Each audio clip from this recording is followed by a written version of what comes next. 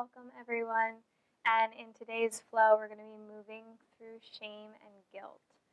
Um, oftentimes, these emotions and feelings get stored in the body, especially in our hips, in our pelvic area, in digestion.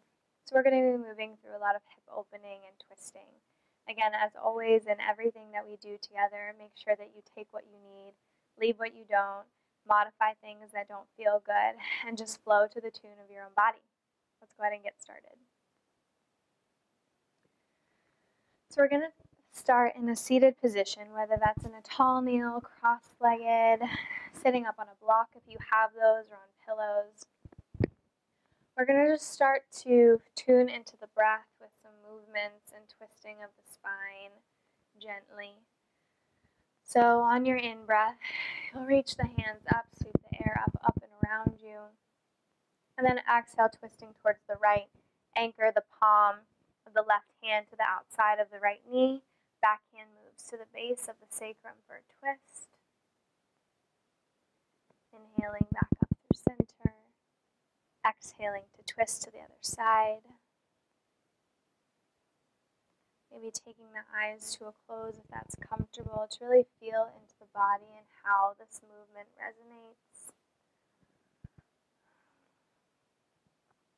Allowing the breath to move up to the fingertips and out, allowing the spine to rinse out anything that feels stuck or heavy in the torso and chest. Moving through a couple more times on each side.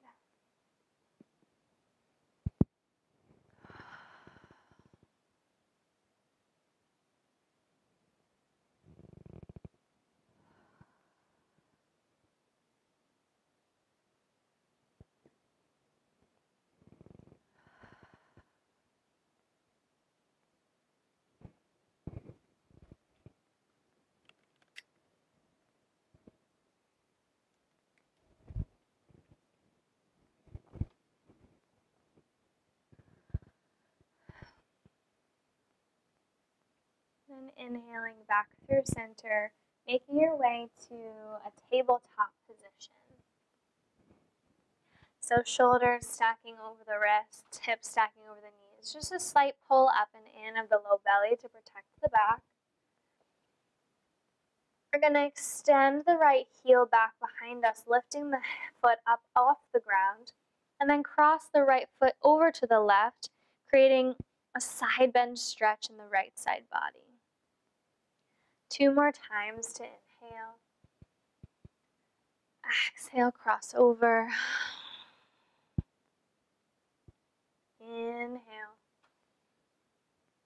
Exhale, crossing over. And then once you return back through center, right knee comes down to meet the left, switching sides here. So left heel comes up. Exhale, brings the right foot over, or the left foot over towards the right. In breath takes it up. Exhale crosses it over. Last one here. Exhale, cross it over. And meeting back in tabletop. You're going to turn that right foot out so it comes to be parallel to the short edge of the mat as the left foot comes long big toe pointed towards the long edge of the mat. Take the right hand and place it to the center so that it's in line with the knee and the foot. And you'll open up here for a modified, open up here for a modified Ardha Chandrasana or half moon. Maybe bringing the left foot up for balance or keeping it rooted on the ground. Thinking of the hips pulling forward, opening of the chest gazing down to the hand if that feels better in the neck, or maybe up towards the ceiling. And breathing here, really feeling the expansion of your body, taking up space here.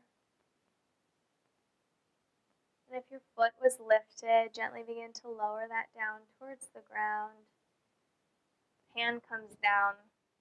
Meeting back in that tabletop position, staying facing where you are. I'm just going to shift over so that I can turn open to face you. So this time, bring the left palm under the face, opening that left foot up.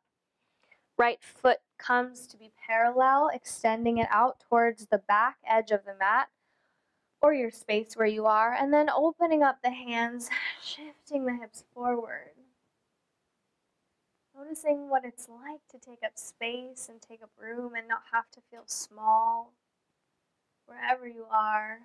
Even if you don't have a lot of space, just envision long lines of energy extending from the fingertips, crown of the head, foot. Maybe that foot lifts up.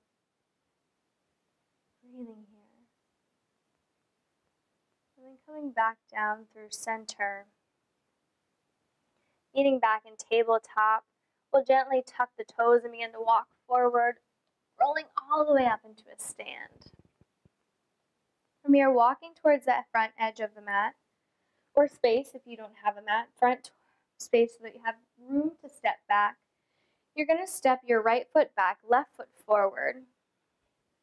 You can either stay on the ball of the toe or open up into a warrior two position where the back foot is turned out about 45 degrees Again, depends on how the back of the calf feels. If it's super tight, you can always just stay up in this buoyant position, just making sure the hips are nice and square.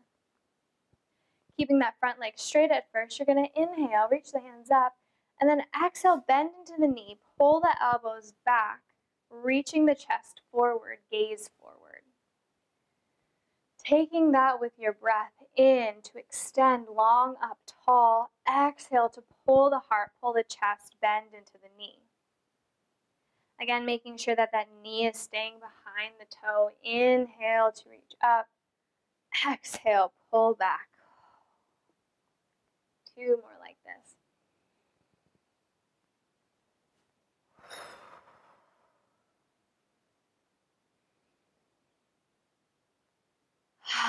Maybe breathing out through the mouth, letting it go.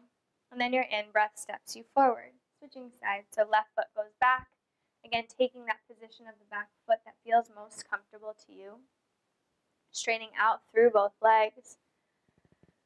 And then on your exhale, rooting down into the ground, feeling energy and fire in the hands, power in the chest.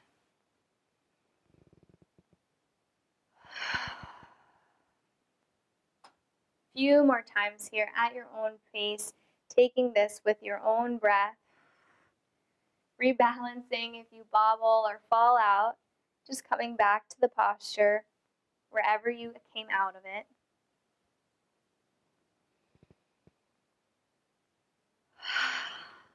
Last one here. And step it forward and just stand into Tadasana, mountain pose, feet rooted into the ground, palms turned forward. Just noticing the internal state of affairs, any shifts in the body, shifts in the mind. This practice is all about noticing, being aware, and allowing what shows up to just be present with you instead of trying to shove it away or move through it.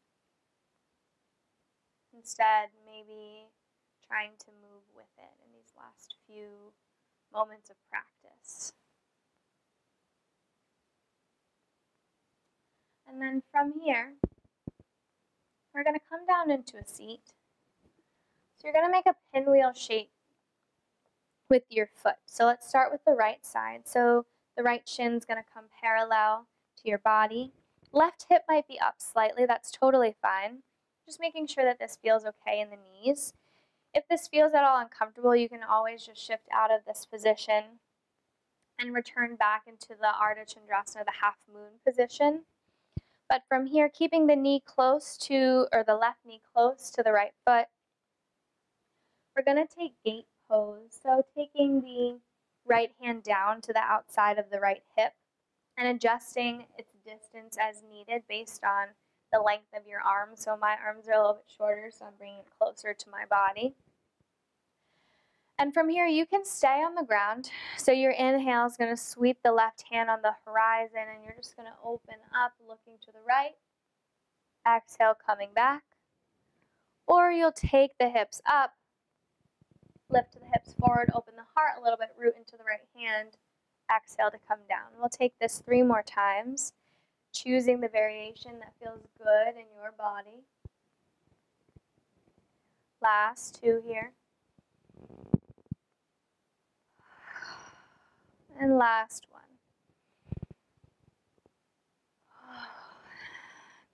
And then gently rocking back onto the hands, bringing the knees forward, and just gently windshield wipering them back and forth. Switching sides here. So taking the same position. Again, keeping that knee close to the right knee, close to the inside of the foot, so you're having a stable base if you do choose to lift up. If you choose to stay on the ground, just make sure that that feels good in the knee.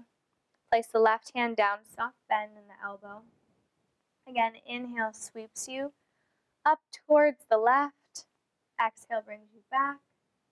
Feel free to lift up onto the shins if that feels okay, opening the heart and hips. And three more here. Making sure that the breath is the priority of this movement. So you're always moving through and with it instead of allowing it to hold and stay stuck in the chest. Last one. Bring the hands back, feet come forward, windshield wiper the feet back and forth. And then slowly make your way onto your back. Again, maybe grabbing for the backs of the thighs so the roll down is nice and gentle. We're going to take supine twist. So allow the knees to fall towards the left. Body comes open towards the right. Feeling free to stay here, or if you'd like, you can come all the way to side lying. And taking the right hand like a bow and arrow, you'll just slide it down the length of the arm, across the chest, open to the right, and then just repeat if that feels okay. And if not, you know, like I said before, just take whatever position feels good and just breathe here. Allowing the spine to be open.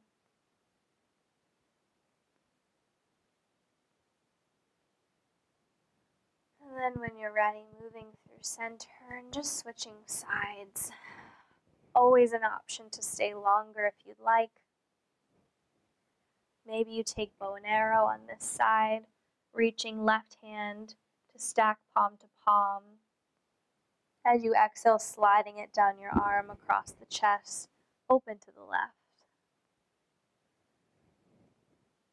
Exhaling to close.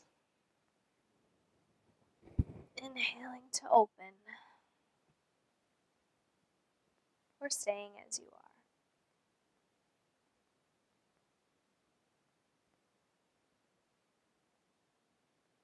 And gently bringing the knees in, hug the knees into the chest, to the armpits. And then bring the soles of the feet to touch. Allow the knees to go wide. Feel a lengthening of the tailbone here. And if this feels okay in the hips, we'll stay for a few moments. But if not, you can always extend the feet out into Shavasana. Just resting here.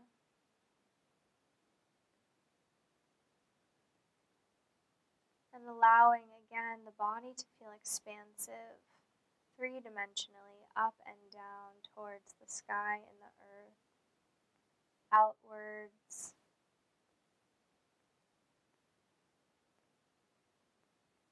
And with every exhale from here on out, see if you can soften anywhere in the body, even if it's just,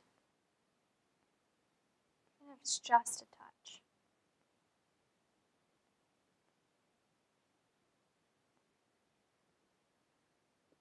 letting go of anything that you may still be holding on to or that is lingering left.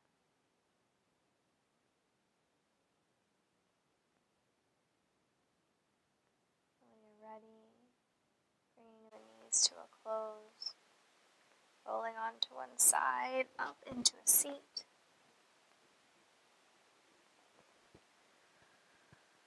Keeping the eyes heavier closed.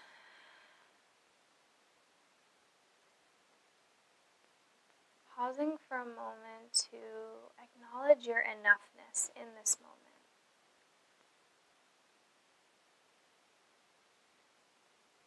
Knowing that you are enough right here, right now.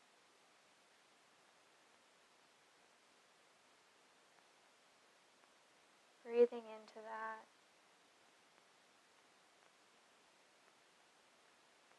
Gently blinking the eyes open and returning back into your day.